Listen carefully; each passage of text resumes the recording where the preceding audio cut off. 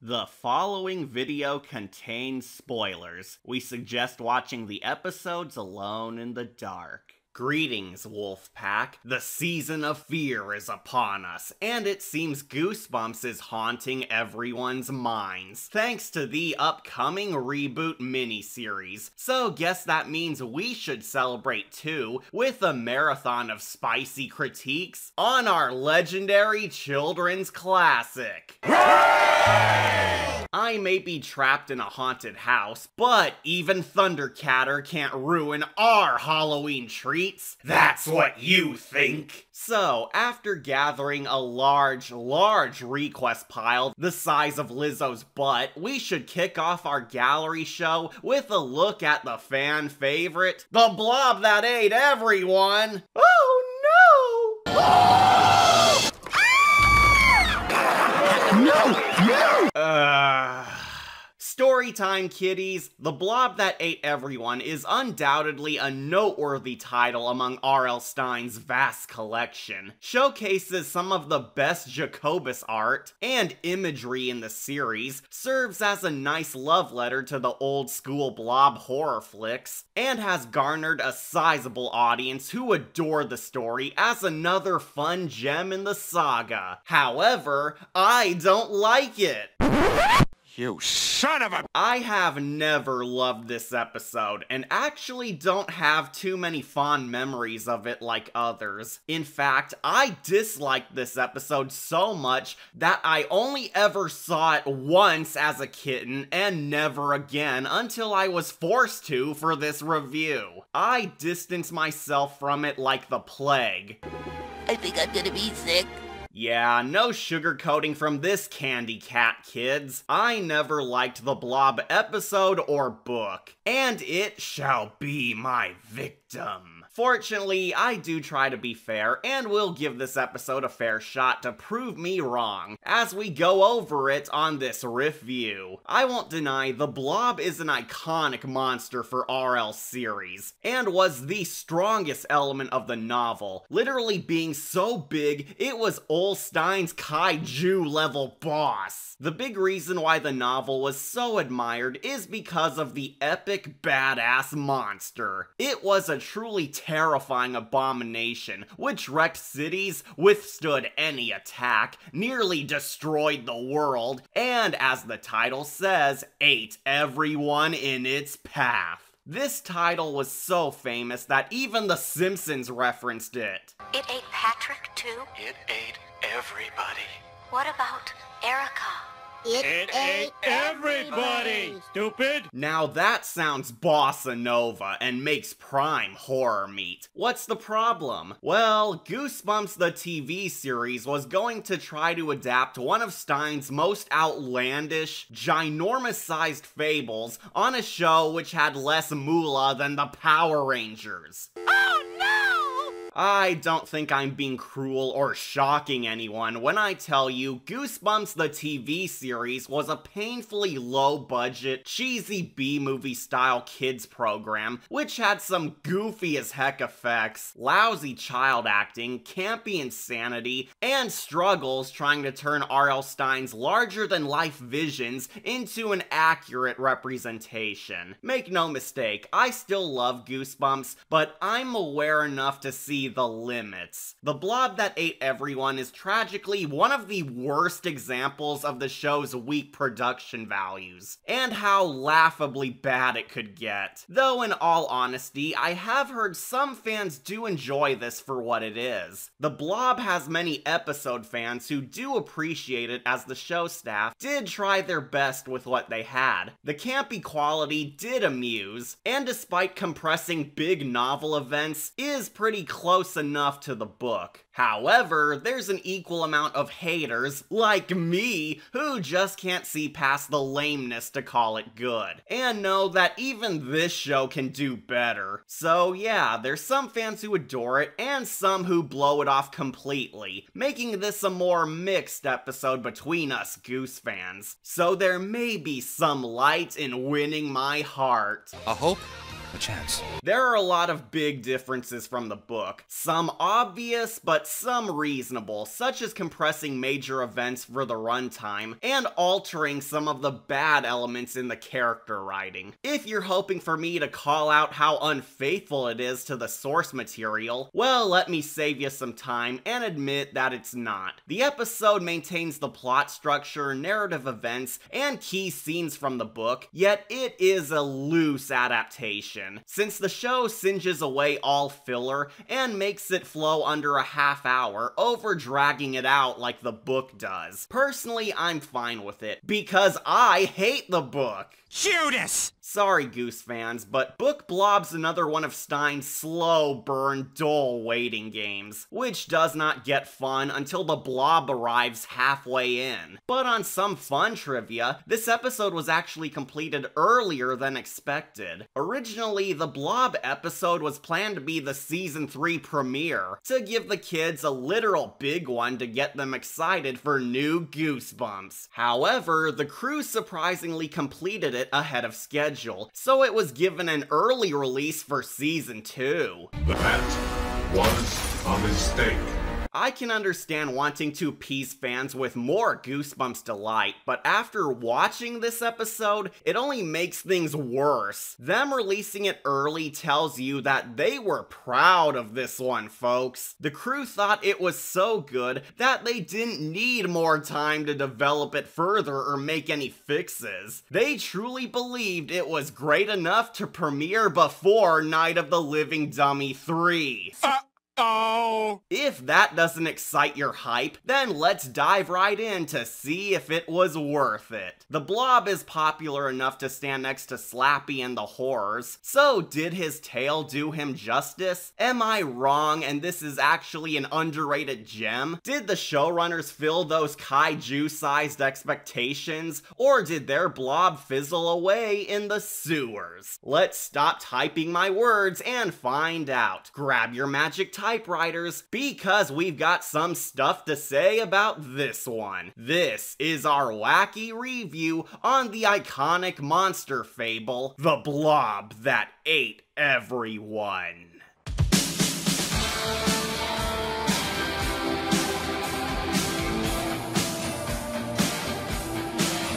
So, our episode opens up with two radical kids cleaning house, introducing us to our main characters, a sassy girl named Alex, and our dorky leading man, Zach. Zach?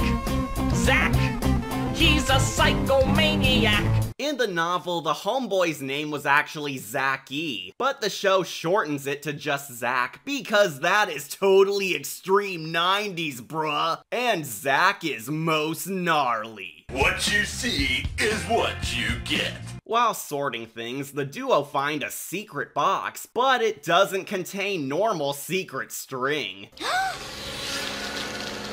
They're just worms. Wrong story, dingus! Man, the Goosebumps crew must have loved go eat worms a lot, since so many later episodes keep referencing it, or have the leftovers from that film, which includes some evil Muppet worms as well, since they attack Zack. Only psych, it was all a classic Stine fake out, and really Zack sharing his amateur scary novel with his besties, the real Alex and Adam. Yeah, I call it Adventure of the Blob Monster. It's awesome.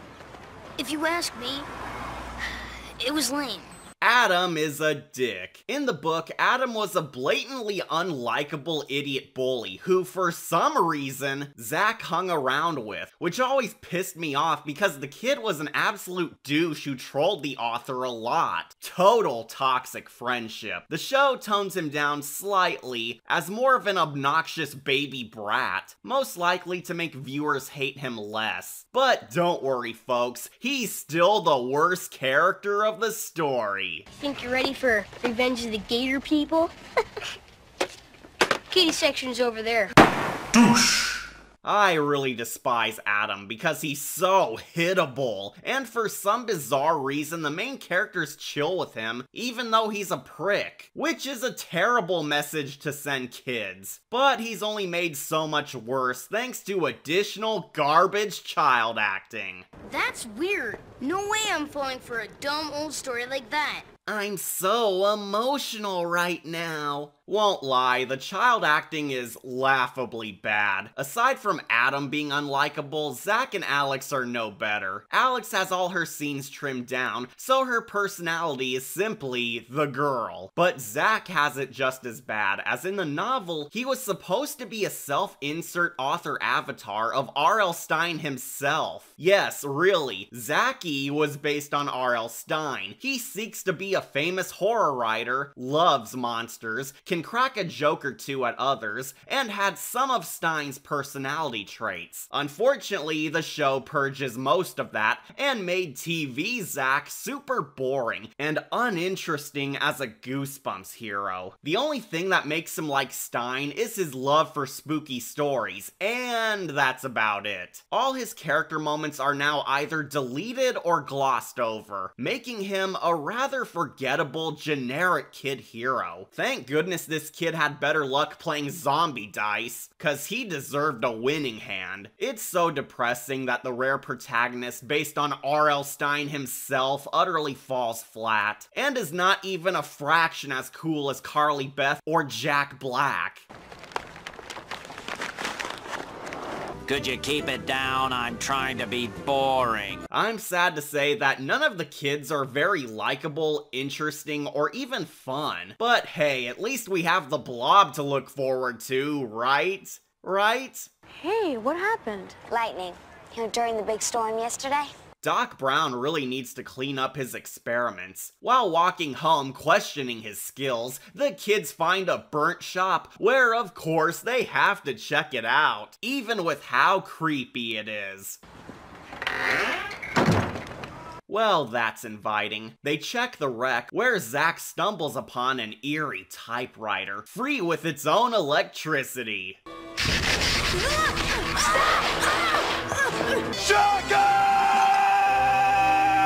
Chill, Spidey, he's fine. No, really, he blows off being static shocked and gets back to normal. See, kids, playing with live wires is totally safe. Zack takes the static typewriter, thinking it'll inspire him to write books the old-fashioned way, only to get jump scared by a magical black lady. He likes writing scary stories. I'd Certainly write a scary story about my store.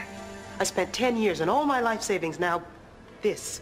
Spoiler alert, this magical black lady is 100% pointless. Really, this ominous shopkeeper shows up out of nowhere, acts all sketchy and weird, only to just give the typewriter away to Zack anyway, even though he was already going to take it because he thought the shop was abandoned after the stormy destruction. She could have been deleted entirely and this scene would play out the exact same way. The first time I ever watched this, I thought the creepy lady was going to be a major character or show up later as like a supernatural expert with knowledge on the magic or how to kill the blob in the darkest hour, like the mask maker. But nope, she simply disappears. This character pops up out of nowhere, says nothing vital, does nothing vital, and adds nothing vital to this whole story. She doesn't even tease if the typewriter's magic or not. She is completely meaningless.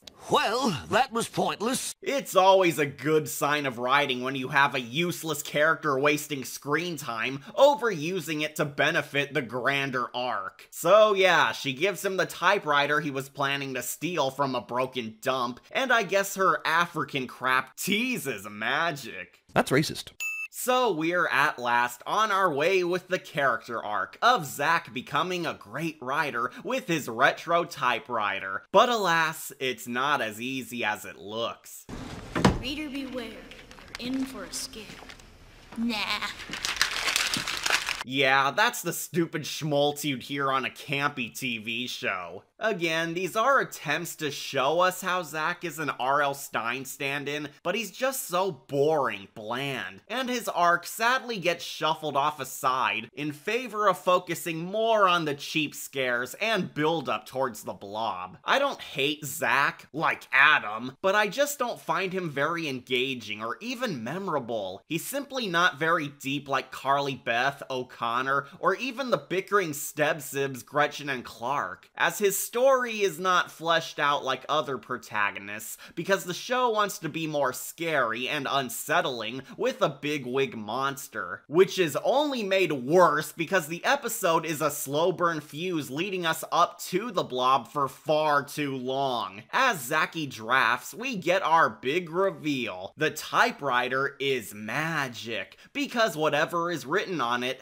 happens in real life bringing some supernatural shenanigans to reality. A cool concept for sure, but really held back by some lackluster scares.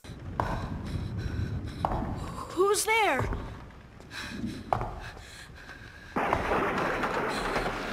This is so weird.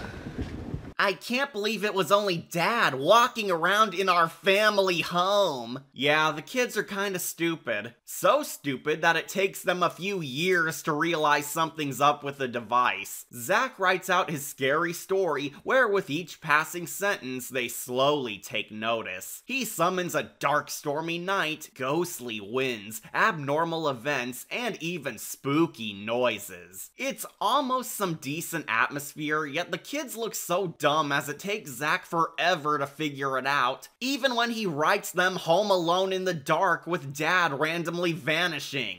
You wrote about the storm, and the storm started. And then you wrote about the wind, and the wind began to howl. And now you wrote the world alone. You're nuts. It's just coincidence. Not the dumbest kids we've ever followed, but this tale takes way too long setting up the typewriter over our kaiju monster. Well, we're waiting.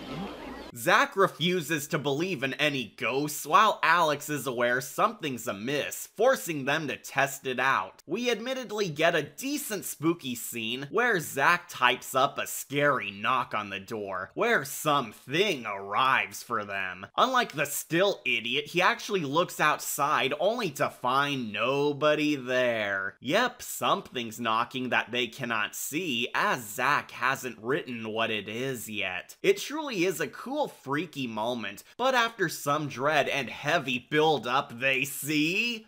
nothing. You know what would have been scarier than nothing? What?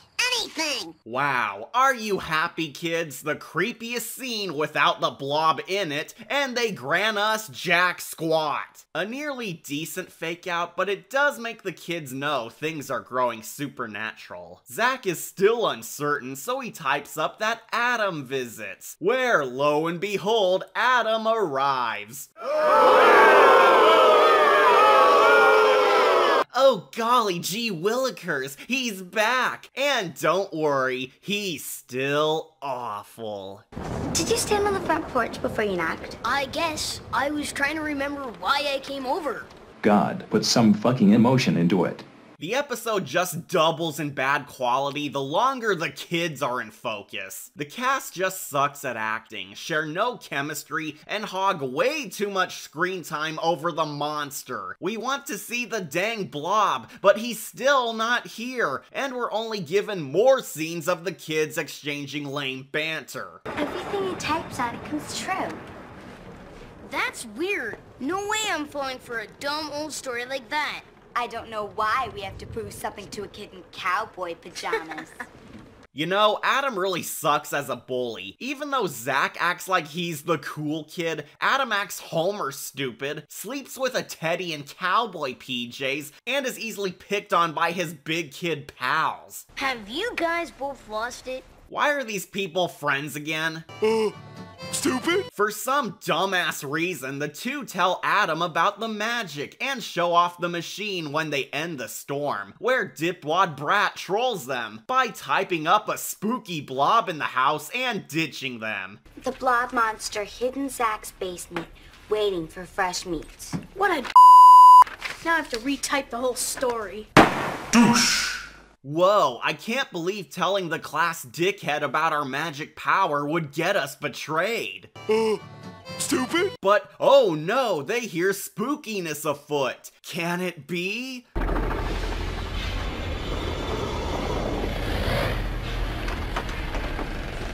How you guys doing? Still okay?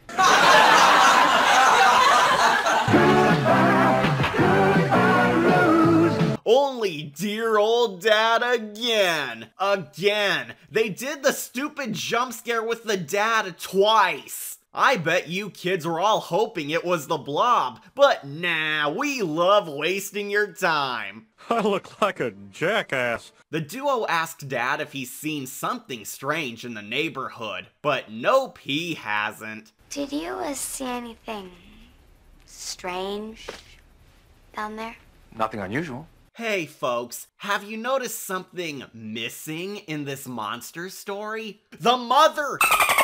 Blob! Where is he? I'm not even kidding when I warn you, the blob is barely in this. For realsies, I haven't been editing out clips or holding off on showing him yet. The blob is barely in his own story. We are nearly done with this episode, and the blob has yet to even show a tentacle on screen. Well, that's because the show makes the brilliant decision to save the blob for the final act act.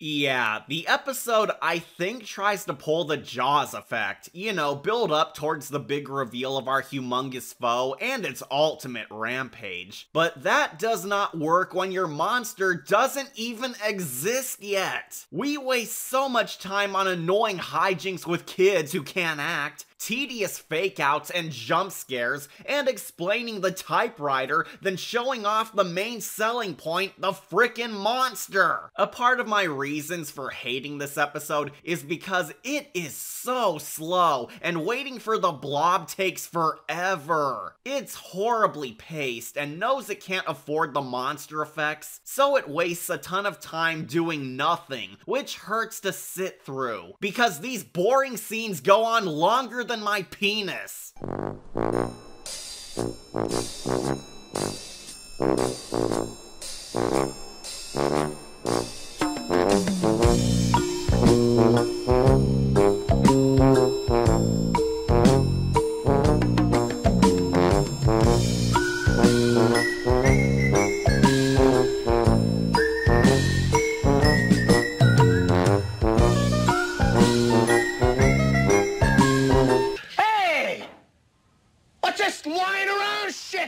You can bet that everyone, especially the kids, are growing tired of waiting for this Mon. Oh, but finally, the kids do try to play things safe and search the pad for any ghoulies, where after spotting something scary, we see it's only Adam being a prick. Yeah, real funny, Adam. You should be on stage. You really think so? Yeah, the one that leaves at noon. You're pushing your luck, show. And just like that, they blow off the haunted nonsense and Zach gets back to typing his magnum opus, forming his real blob tale. The blob monster attacks the video store in the mall. Everyone's screaming, trying to run away, but they can't, and the blob eats everyone. But if that doesn't excite you, he invites his girlfriend to dinner and rents a blockbuster video. Ah! Ho does the riveting emptiness in this monster tale ever cease? To be fair, the novel had an equal amount of fluff as well, but it did grant Zach and Alex fun, quirky character moments that made you more invested in them. Unfortunately, while the episode successfully moves at a faster speed, nothing interesting is happening. We're entering the final countdown, and the scariest part in this whole arc is a knock at the door. Be afraid, kids. Zach bumps into that scary meanie Adam, who acts like a vastly different different character now. He somehow goes from this baby brat into the tough guy bully with his own bros, taunting the rider with his gang, which also amounts to nada. On a small note, in the book, Adam's two pals were actually a pair of girls, who he was likely trying to impress by acting cool, but for no given reason, they were changed to boys. Or maybe they're boys who identify as girls?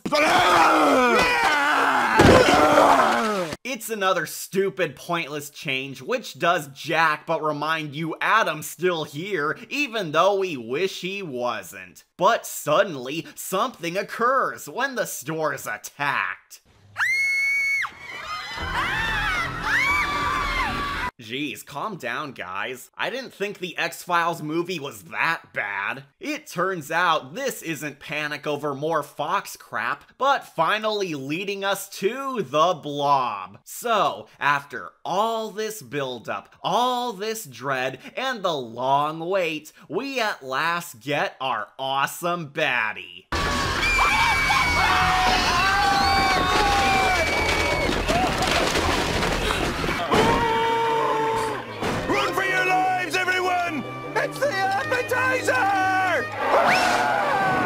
What the? Are you kidding me? Holy Jeebus! Christmas! How did my life...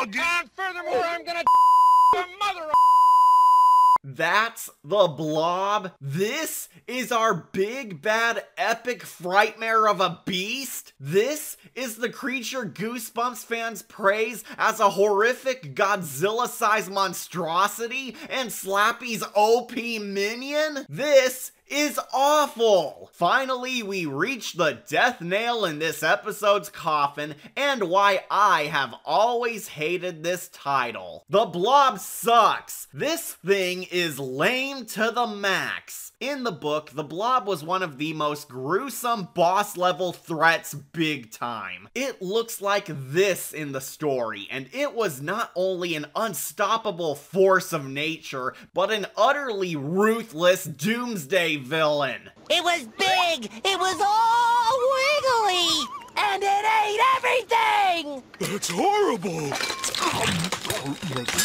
I think it goes without saying that many viewers were ultra let down by this because the blob is a joke nothing like its book version. On the page, it was this pink gooey living liquid that kept expanding the more it ate people and absorbed so much power that it was capable of destroying the world. However, the episode turned it into a literal piece of crap. This isn't a toxic mutant abomination like the 80s blob. This is the live action version of Mr. Krabs' appetizer. It is so, so bad. The blob that ate everyone was already a very impossible task for the show to capture on the big screen, but the end results of this great poo tell me that they bit off way more than they can chew. The blob looks fake as hell thanks to its rejected Muppet body, its foam rubber teeth and skin, the off colors, the cheap recycled go eat worms appendages, and how it's very janky the way it moves, as if the actors puppeting it can't get it to run.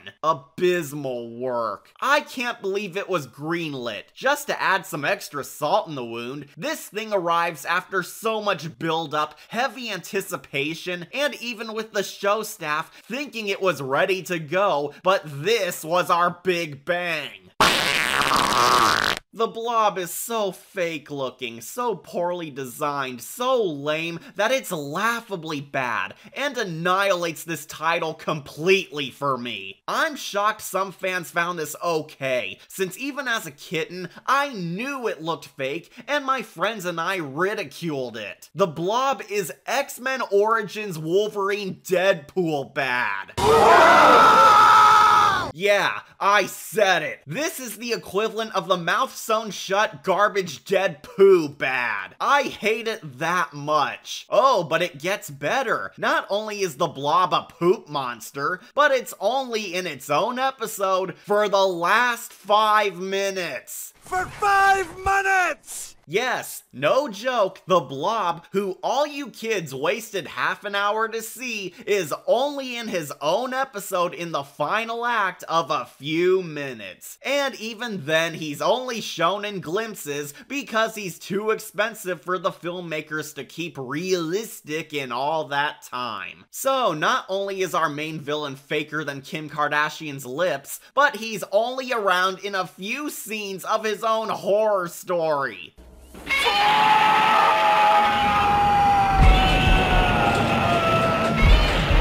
This is why I and many fans hate the blob that ate everyone, because the monster is literally a giant disappointment. But we got a plot to finish. The blob is on a rampage, where Adam shows up to stupidly poke at it. And he dies. No! Silly rabbit, tricks are for kids. Who cares? Screw Adam, he sucks on the page and screen. But if you crave extra disappointment tonight, in the novel, the blob literally eats multiple people, including cops and civilians in his way. But the cheapskates only limit it to solely Adam. The show nerfs the blob, as he was so OP he ate the police. It ate their hats. It ate the spatula. It ate all the Krabby Patties. It ate the stove. It ate Old Man Jenkins. I don't want to be a burden. Yes, the blob that ate everyone doesn't eat everyone. I dare call it an epic fail. So, right as soon as the blob shows up, we quickly get the most rushed climax I've ever seen on this show. So please, Wolfpack, try and bear with me here because so much stuff happens in a few seconds that I explain it better than the show does in its flash time. Zack dashes home at last realizing it's all real, where he and Alex figure out they can defeat it by finishing the story. However, the blob won't allow that.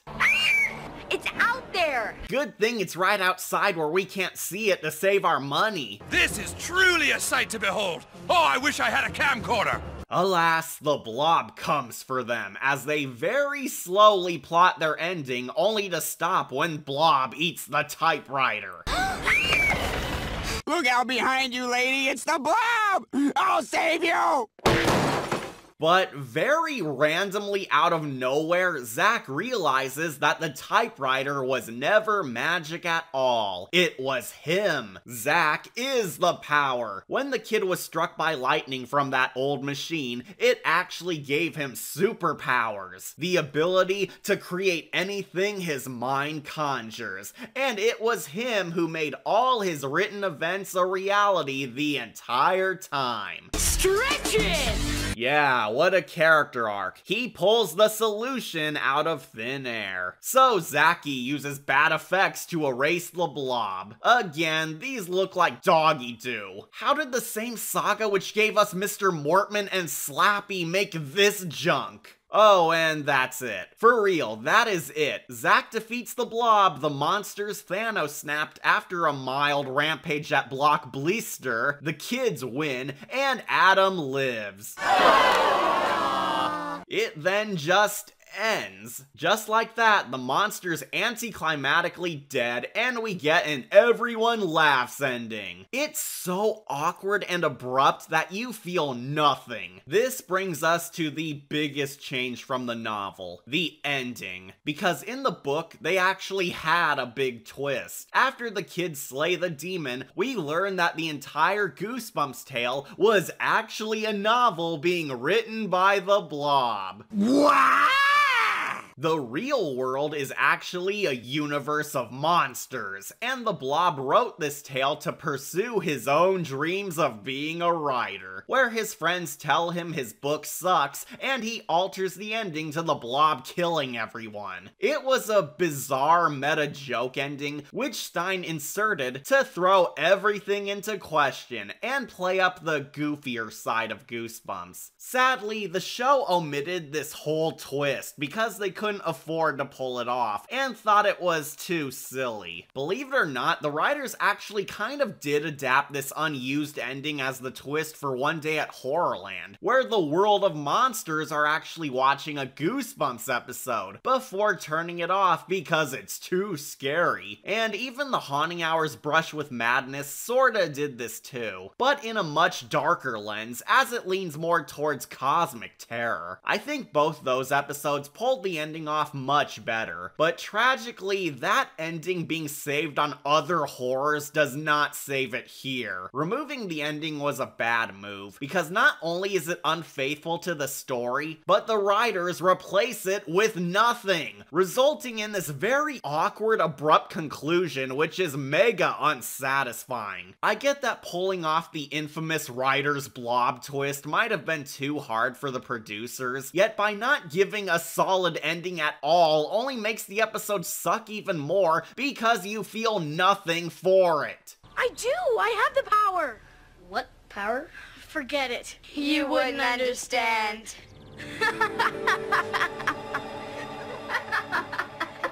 Fucking television! Anywho, that's Stine's Showa, the blob that ate everyone. More like the bomb that failed everyone because that frickin' blew chunks. This episode sucks. I'm genuinely shocked how this title isn't on more worst episodes lists because this is such a dull, boring, lame, cringy letdown. I always skipped this episode as a youngling. At first, I thought it was because I found it too scary, but no, it was the opposite. This was the tale where nothing happens. I legit fail to understand how anyone out of kindergarten enjoys this when it's a monster story that barely has the monster. While waiting for the dang blob to show up, it's so boring, slow, unfunny, colorless, and lazy to sit through. The child acting sucks. There's so many scary moments that don't scare. The suspense is severely lacking. Screw Adam, and the typewriter hogs so much focus. The show staff clearly had little confidence in their monster, so the episode stretches out the narrative with so much fluff and fake outs that aren't very good. Two thirds of the Blob's episode doesn't even have the Blob involved, and is slow burn padding, which wastes time until the monster finally arrives in the final five minutes of a half hour adventure. And when we finally do get the Blob, it sucks. I always hated this thing as a kid because he is not even close to his book counterpart's awesomeness or badassery. It's made a thousand times worse after all that waiting and build-up because the monster of our nightmares looks like poop. This Muppet is barely on screen, not even a tad frightening, not cool, and worst of all, looks painfully fake. This legit might make my top 10 worst Goosebumps monsters. He is a disgrace to the novel blob. And don't say, oh cat, it's just for kids, don't be so hard. Let me just ask, who the hell do you think is going to be the most pissed that their favorite childhood monster in this kid's series doesn't accurately resemble their childhood book.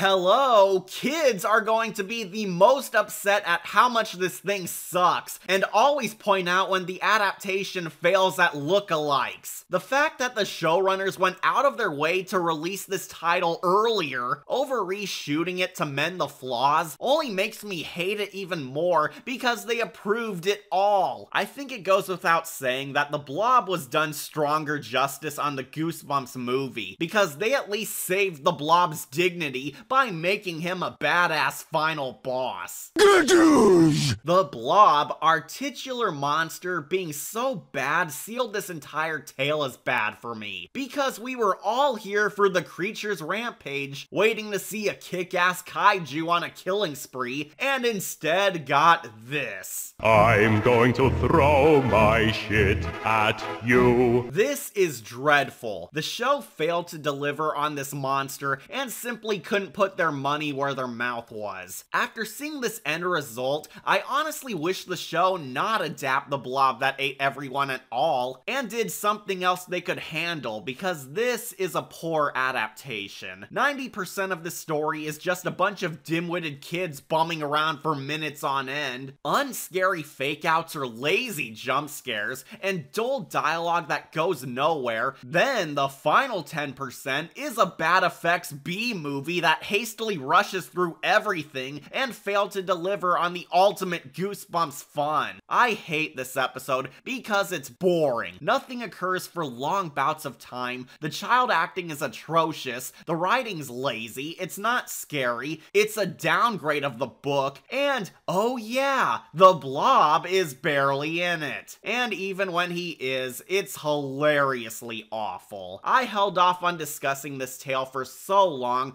because I never liked it back then and still don't like it now. I grant this rough draft a decayed skull and don't recommend at all. This is a big old goose fail, and I think people of all ages are in for a horrendous waste of time. The blob that ate everyone had huge expectations to live up to, but like the terrible Muppet, it was more gas than solid. I'm your host, Catastrophe, and remember, artists, if you ever fear your craft isn't good enough, always remember that even you can create something better than a poo monster.